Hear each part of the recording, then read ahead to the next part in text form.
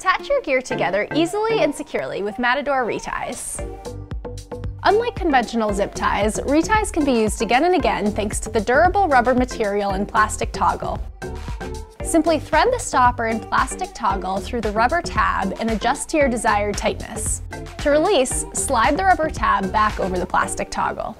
Reties are perfect for attaching items to your backpack, bundling things together, and so much more. Matador reties will quickly become your most coveted piece of gear. They might just be the most versatile little things on earth.